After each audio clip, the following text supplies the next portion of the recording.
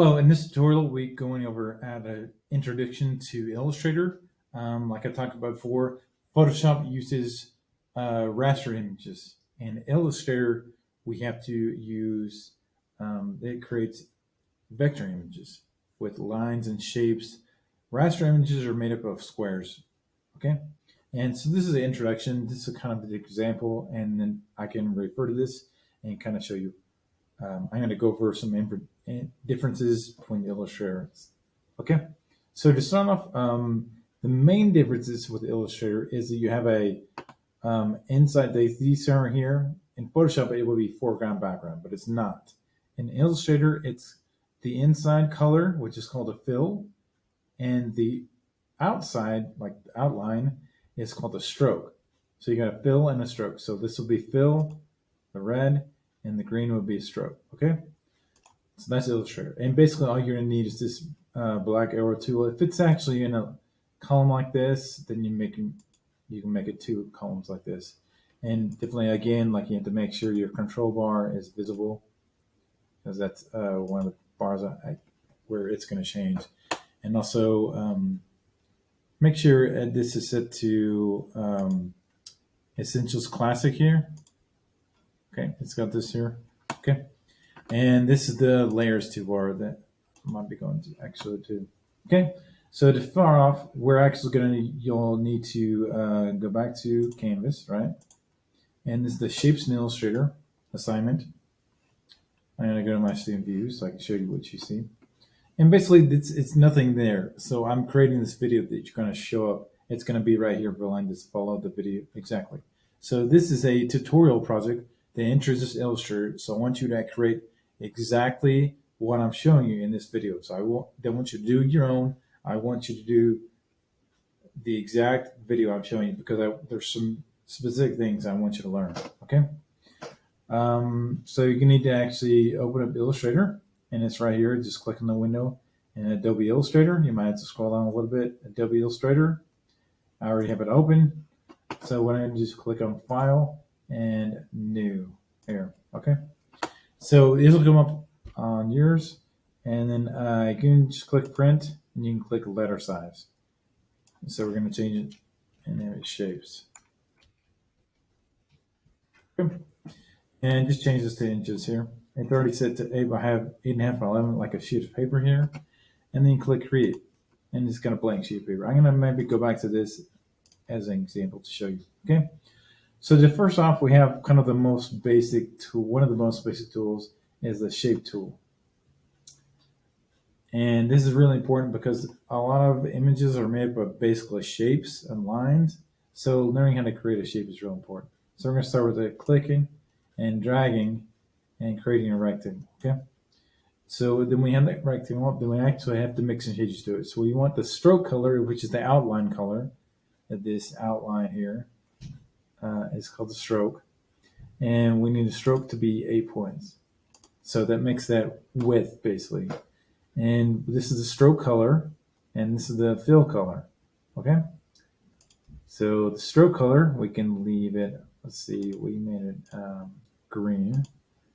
Yeah, so I'll make it green here. So this is actually the stroke color, or you can actually go to the uh, swatches here uh, we learned actually in Photoshop, you can double click on and make this actually in front. This is active here, and this is uh, having the fill be active.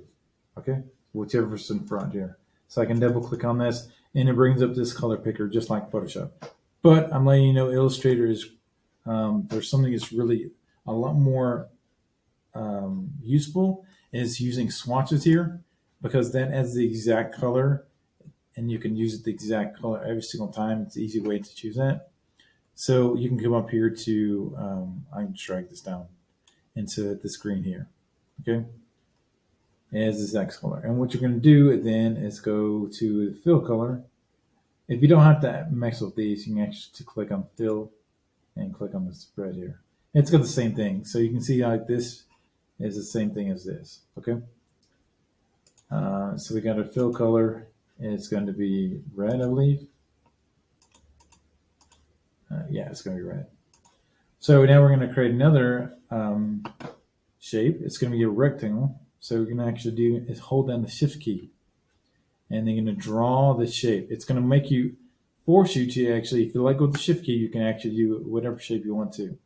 But hold down the shift key and this is going to be very important in a lot of things we're going to actually hold down the shift key and it creates a shape here. But it creates a shape exactly like we did the one, but now we need to modify it because this shape needs to be black outline with a blue fill or black stroke with a blue fill. So we just change it to black outline and then with a blue fill. So it to blue. Okay, very simple. Uh, now we're actually going to use the ellipse tool. Okay, and so you can click and hold this down and grab the ellipse tool. And you're going to draw an ellipse. Okay. Uh, but these need to be uh, four points. So you're it's a little bit thinner line here. And this one going to be black uh, with the orange. Okay. So it's still black. Um, and you're going to change this to orange. Okay. So it's the fill color and it's going to be the orange here. Okay. And now we're going to do actually create another ellipse, but this one we're going to hold down shift key just like we did the square. So you're going to hold down shift key and create a, oh, sorry, messed it up. Click on the shift key and hold it down and grab a circle. Okay. And then what you're going to do now is it's, it's just like our ellipse earlier, but this is a circle. Now I'm going to click on the gradient tool. If this is not shown up, you need to actually make sure that you have your properties set up. Okay. And then uh, your swatches, stuff like that, you know. Okay. They should be shown here. It's one of the basic things. So you're going to go to your gradients tool and it's got this gradient here. And what you're going to do is change this to gradient to orange and yellow. And it's preset to be, oh, I'm sorry, I messed it up. So this might happen actually. So I my stroke is actually in front. That's why my stroke is actually the gradient here. But I need to change the stroke to black. And then I need to make this active. Oh, I'm sorry. Click on this once and it makes the fill color be in front. So that way when I change the gradient to orange yellow, that you know changes the gradient there. The gradient is actually going from yellow to orange there. So I'm going to create another one, another ellipse. I'm going to hold down the shift key and I'm going to draw another ellipse here. But this one, I'm actually going to click on, it's the same gradient, but I'm going to change it to a, this is a linear gradient. I'm going to change it to radial gradient. So I've got a radial gradient tool. Okay. Now I'm going to go back to this example here. Um, let's see here. This example. Okay. A polygon, a triangle. Okay. So now we're going to actually hold this down and grab the polygon tool. So it's a default to actually draw from the middle. So you're going to draw it from the middle, but you're going to hold down a shift key and it makes it, but this is has eight sides. So we need to click on the down arrow key and make it have five sides. Now we got, you know, and then hold down the shift key again and you want to create this polygon. Okay. And this can go back up to, this is can say four, four. Okay. And like you see out there, we're just going brown with a gradient fill. So the um, stroke color can be brown, like you choose a brown, but the inside color needs to actually be a gradient. So you're going to choose swatches here. You're going to choose the gradient swatch library, and we're going to get into gradients, and we're going to choose the metals right here. And then we're going to go down to uh, this one says copper. So you can see there, just hovering over. I click in there, and then actually that fill is in front of the of the stroke, so I'm editing the fill color. So this is copper now. Okay? And next thing I'm going to do is I'm going to create a triangle here. So it's going to be another polygon again, and we're actually going to click and drag out. I'm still holding down my mouse, and what I'm going to do is actually hit the down arrow key to actually three sides. Hold the shift key again to create a triangle here. And now I need to actually make it uh, silver with the metal. Okay, so this is going to be a stroke color in front, right? So the stroke color is going to be just like choose a gray. Doesn't really matter the gray. But the fill color, click on that once, and it's got a fill color in front. And now I need to go back to the gradients, I'm sorry, the swatches, and the um, library, choose gradients, and then go to metals again. Now this one needs to be a steel color. So you need to hover over these, you know, as, as you need to define the one that says steel. And that's going to be inside color, okay? And so if you want to turn that in, that would actually get you a 95. If you want to get up to a 105, um, you can do um, the following steps here. So we're going to actually create a stop sign and like a uh, eight-sided polygon and a star here and then my name or your name, I guess.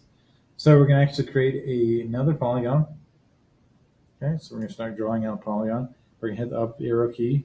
So it's three, four, five, six, seven, eight. And all the shift key again to create it like a polygon, I mean, an octagon. Okay, but we're going to change this to um, blue with a red. So we need to change to blue as a stroke color. And this needs to be a fill color, it needs to be red. Okay, pretty simple, straightforward. Um, so now I'm going to click on just the black arrow tool. I'm going to make some room, right? Except for my name and stuff like that. So, so now we're going to create some text. Okay, and we're going to click down here. We're going to change our text size to maybe uh, 48. Okay, I'm going to type in my name, Mr.